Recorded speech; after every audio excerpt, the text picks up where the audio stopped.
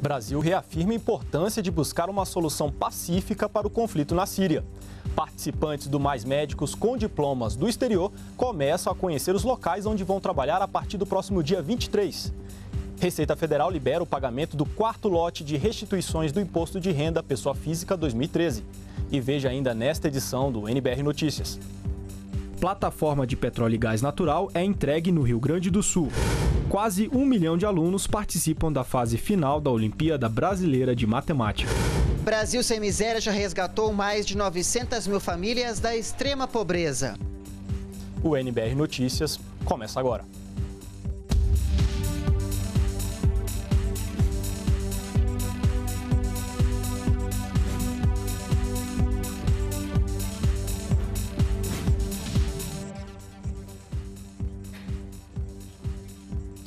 Olá, boa noite. O Brasil reafirmou hoje a sua posição de buscar uma solução pacífica para o conflito na Síria. O ministro das Relações Exteriores, Luiz Alberto Figueiredo, comentou a situação no país árabe, que desde 2011 convive com confrontos entre grupos de oposição e o regime do presidente Bashar al-Assad. Segundo a Organização das Nações Unidas, o conflito já matou 100 mil pessoas e levou 2 milhões de sírios a buscar refúgio em países vizinhos, como a Jordânia e a Turquia. O ministro das Relações Exteriores, Luiz Alberto Figueiredo, disse nesta segunda-feira que o governo brasileiro aguarda uma solução negociada pelo Conselho de Segurança das Nações Unidas para evitar o uso de força militar contra a Síria. E é hora também de abandonar qualquer plano de intervenção militar estrangeira que só agravaria a situação.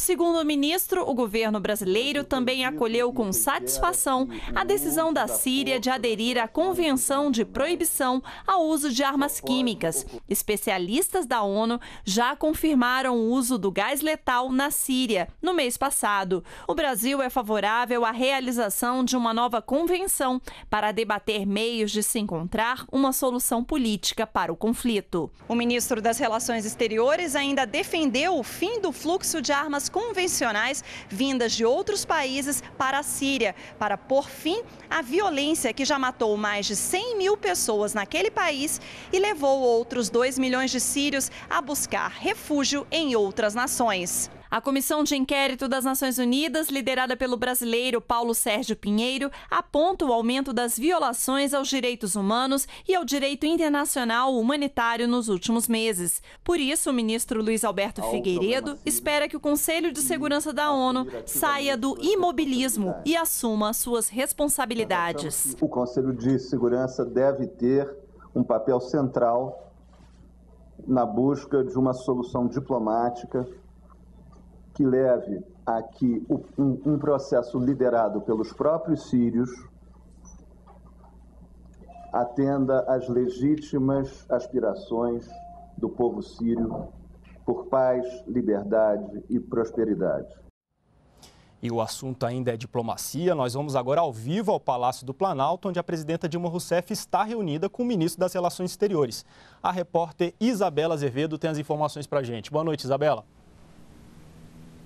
Olá, Odilei, boa noite, boa noite a todos. Segundo informações que acabaram de ser divulgadas pela assessoria aqui do Palácio do Planalto, a presidenta Dilma Rousseff recebeu uma ligação do presidente norte-americano Barack Obama por volta de seis e meia da tarde. O teor dessa conversa não foi divulgado, mas segundo a assessoria, a presidenta deve dar uma resposta amanhã se deve ir ou não a Washington no final de outubro para fazer a visita de Estado. A dúvida em relação a essa viagem surgiu depois de denúncias em relação à espionagem do governo brasileiro feitas por agência dos Estados Unidos. A viagem a Nova York para a Conferência Nacional, a, a Assembleia da ONU, continua mantida para este mês, para o final deste mês de setembro. Audilei. Ok, obrigado Isabela pelas informações ao vivo do Palácio do Planalto. E, a, e, hoje, em Porto Alegre, a presidenta Dilma Rousseff participou da cerimônia de inauguração da plataforma P-55, a maior do tipo semi-submersível já construída aqui no Brasil.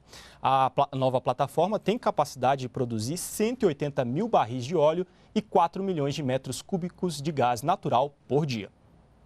Durante a cerimônia de inauguração da plataforma P55, a presidenta Dilma Rousseff afirmou que o Brasil está retomando sua indústria naval e ainda lembrou a geração de empregos na área, que hoje representa mais de 70 mil postos de trabalho.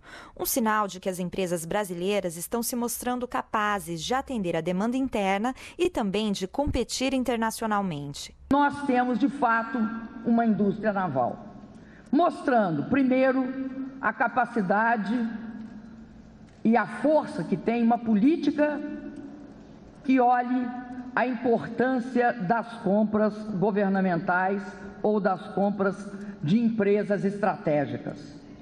Porque o motor desta política foi o fato de que se decidiu que o que fosse possível produzir no Brasil seria produzido no Brasil. Nós não somos e não podemos ser um país que produz só o óleo bruto e que exporta empregos, exporta demanda para o mercado internacional. Vamos ter demanda para o mercado internacional, mas o grosso da demanda ela tem de estar aqui ancorada nas nossas empresas e também nos nossos trabalhadores. Previsão é de que a plataforma P55 comece a funcionar em dezembro. Durante a cerimônia, a presidenta Dilma Rousseff também assinou o contrato para a construção das plataformas P75 e P77, que vão operar nos campos do pré-sal, na Bacia de Santos. A Secretaria de Políticas para as Mulheres está selecionando propostas para a gestão das unidades móveis de acolhimento, que garantam o atendimento às mulheres do campo e da floresta. Ao vivo, o repórter Ricardo Carandina tem os detalhes para a gente. Boa noite, Ricardo.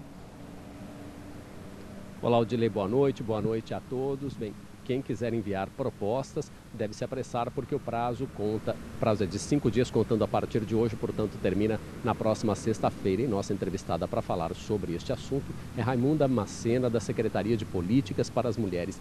Raimunda, bem, primeiro, como é que funcionam essas unidades de acolhimento? Como é que elas trabalham? Boa noite. Boa noite. As unidades móveis, elas são equipadas para o atendimento às mulheres do campo e da floresta em situação de violência.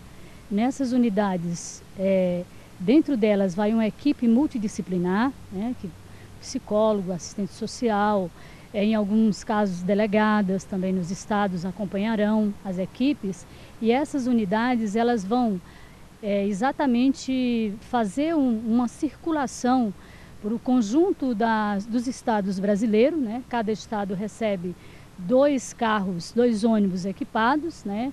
Já entregamos na Paraíba, aqui no Distrito Federal, em Goiás e no Espírito Santo e vamos entregar agora no dia 20, mas a dois estados, o estado da Bahia e o estado de Sergipe, né?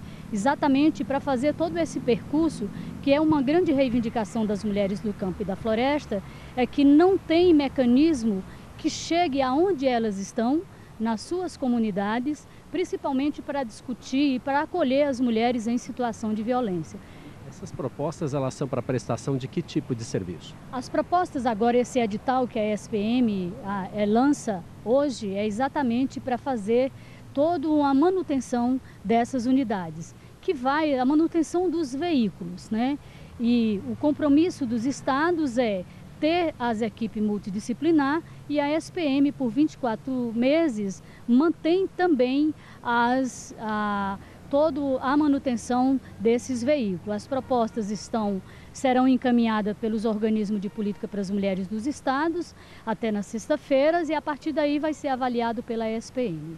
Bem, obrigado então, Raimunda Macena, da Secretaria de Políticas para as Mulheres, pela entrevista. E lembrando que as propostas devem ser encaminhadas pelo portal do SICONV, o Sistema de Convênios. Audilei. Obrigado, Ricardo, pelas informações. A Receita Federal liberou hoje o pagamento do quarto lote de restituições do Imposto de Renda à Pessoa Física 2013. Além deste lote, foram depositados os recursos de lotes de anos anteriores, de contribuintes que caíram na malha fina a partir de 2008. O volume total das restituições chega a 1 bilhão e 400 milhões de reais para mais de 1 milhão 351 mil contribuintes. Para saber se teve a declaração liberada, basta acessar a página da Receita na internet ou ligar para o Receita Fone. A partir de hoje, o sistema do censo escolar da educação básica será reaberto para conferência e correção de dados sobre as crianças de até 4 anos beneficiárias do programa Bolsa Família, atendidas em creches públicas e conveniadas. Essas informações são necessárias para que as prefeituras recebam, em 2014, a suplementação de recursos do Brasil Carinhoso, feita pelo Ministério do Desenvolvimento Social e Combate à Fome. O sistema continuará aberto até outubro.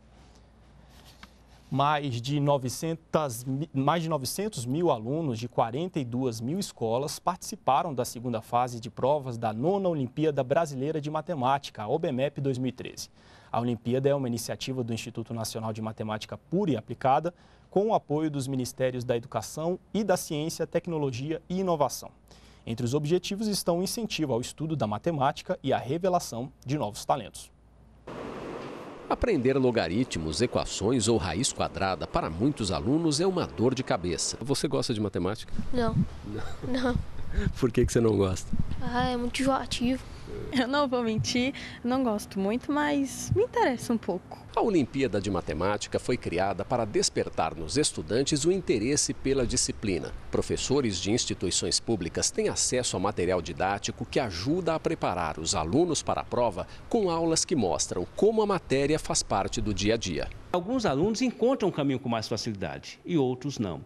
Então, esta dificuldade acaba traduzindo um gostar ou não gostar da matemática. Até porque a gente sempre gosta do que é fácil e não gosta do que é difícil. Basta que o que é difícil se torne fácil, que eu passe a gostar de tudo. Na primeira fase, em junho, mais de 18 milhões de estudantes em quase todas as cidades do país se inscreveram para a Olimpíada. Os aprovados, cerca de 900 mil alunos, fizeram a segunda etapa neste fim de semana. A prova tinha seis questões e o aluno devia explicar os cálculos e o raciocínio utilizado para resolver o problema. A prova da Olimpíada foi muito muito objetiva, mas você tem que ter um pensamento muito lógico para você responder as questões. Você tem que saber muitas fórmulas e saber o básico do básico também, então é uma mistura de tudo. 6 mil alunos vão receber medalhas e vão ser convidados para participar do programa de iniciação científica que pode formar mais matemáticos para o Brasil. Com esse ensino e aprendizagem de forma melhor, entende-se que os alunos podem ter uma vida mais saudável, inclusive como cidadãos, podem é, ter menos reprovação na própria própria formação educacional e, com certeza, teremos uma, uma, ciência mais desenvolvida no país, uma vez que a matemática é a base do conhecimento. E sem a matemática não se chega em lugar nenhum. Os ganhadores de medalhas vão ser conhecidos no dia 29 de novembro, mas a Olimpíada, criada em 2005, já está dando resultados. Tudo que você vai fazer, você usa matemática. Se você vai comprar alguma coisa, você usa a matemática para saber o preço das coisas, para passar o dinheiro, o, tudo ao seu redor é da matemática que você vai aprender. Terminam às 11h59 da noite de hoje as inscrições para as últimas vagas disponíveis neste ano do Sistema de Seleção Unificada da Educação Profissional e Tecnológica, o SISUTEC. Pode se inscrever quem concluiu o ensino médio. Para concorrer a uma vaga num curso técnico, basta acessar o site do Pronatec. A Força Nacional de Segurança Pública vai permanecer por mais 180 dias no Distrito Federal e na região do entorno, na divisa com os estados de Minas Gerais e Goiás. A prorrogação para as ações foi publicada hoje no Diário Oficial da União pelo Ministério da Justiça. Segundo o Ministério, as operações da Força Nacional vão ter o apoio logístico e a supervisão dos órgãos de segurança pública do Distrito Federal. Mais igualdade de oportunidades a presidência da República lançou um programa para ampliar o número de servidores com deficiência. Até 2014, vão ser investidos 2 milhões de reais para viabilizar as ações do programa, que envolvem desde adaptações nas edificações à capacitação das equipes. Lançado nesta segunda-feira, o Programa de Inclusão de Pessoas com Deficiência da Presidência da República pretende aumentar o número de servidores e garantir a acessibilidade desses profissionais nas dependências do Palácio do Planalto e anexos. Seria apenas um projeto de acessibilidade, mas os coordenadores do projeto tiveram uma visão muito mais ampla dos direitos da pessoa com deficiência e ele se transformou em um projeto muito maior, com vários eixos de capacitação, de sensibilização e e o que era para ser um projeto de acessibilidade virou um projeto pleno de inclusão de pessoa com deficiência. Um edital para a contratação de novos funcionários também está previsto para ser lançado em 20 de setembro, véspera do Dia Nacional de Luta das Pessoas com Deficiência. Nós vamos, a partir de agora, fazer uma chamada específica para servidores com deficiência, porque nós queremos trazer para cá o número de servidores que a lei, mais do que a lei e mais do que isso, quanto mais melhores, porque eles podem muito contribuir e é importante que a presidência seja um símbolo dessa, não só do cumprimento da lei, mas de dar a oportunidade para tantas pessoas. Além do lançamento do programa, hoje também foi aberta a exposição Caravana Vencedores do Comitê Paralímpico Brasileiro. Essa mostra fotográfica revela os principais desafios e dificuldades dos atletas na preparação para os Jogos em Londres em 2012. As políticas públicas estão chegando, estão acontecendo. Nós hoje já podemos visitar nos aviões, nos trens, nos ônibus. Pelo menos já tem uma preocupação em discutir esse tema. Claro que não é o ideal, mas com certeza as facilidades são bem maiores do que nós tínhamos no passado. E aí, com isso, a gente acaba estimulando uma demanda que é reprimida, porque pessoas com deficiência já existem desde que o mundo é mundo, só que elas não tinham oportunidade. Agora tem um pouco mais de oportunidade e com essas oportunidades nós faremos a diferença. Hoje, os médicos com diploma do exterior começaram a conhecer os locais onde vão trabalhar e a população que vai ser atendida por eles no programa Mais Médicos. E um parecer da Advocacia Geral da União estabelece que, a partir desta segunda-feira, conselhos regionais de medicina só vão poder exigir dos profissionais estrangeiros os documentos listados na medida provisória do programa.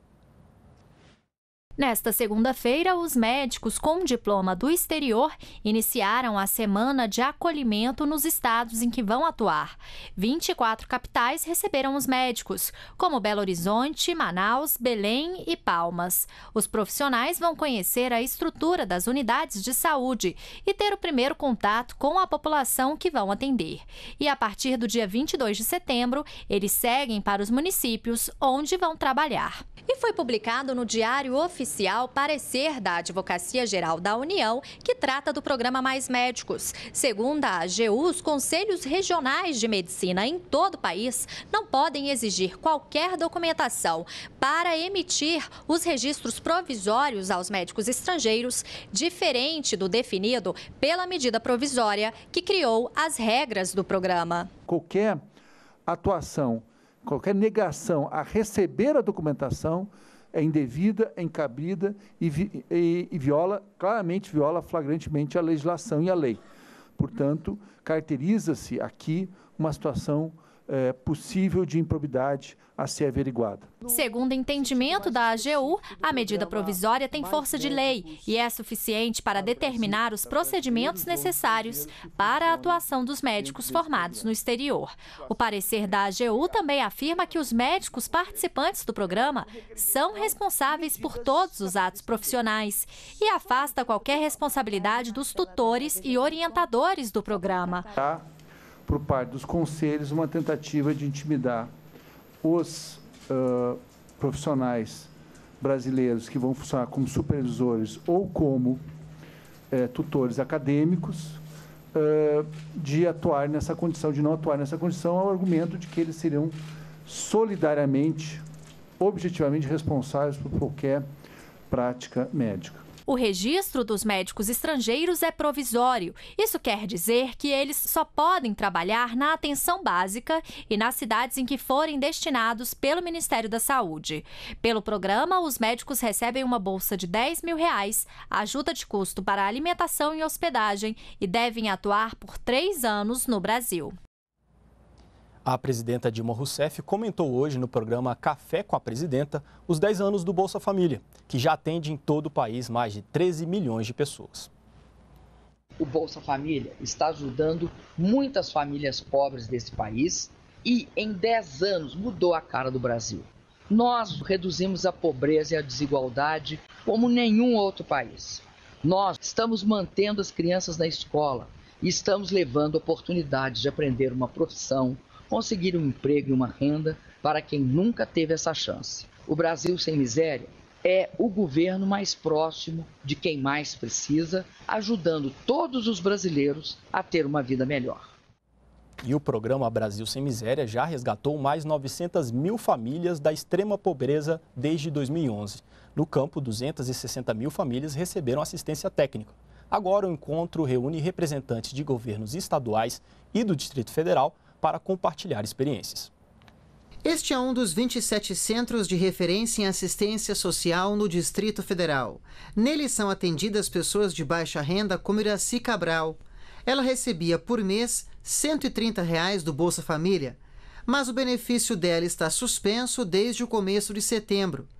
Este funcionário do CRAS explica o que ela deve fazer para resolver a situação. Então, ela deverá procurar um CRAS para fazer essa transferência de município atualizando todos os dados dela, inclusive trazendo a declaração de escolaridade da filha, que agora estuda em Brasília.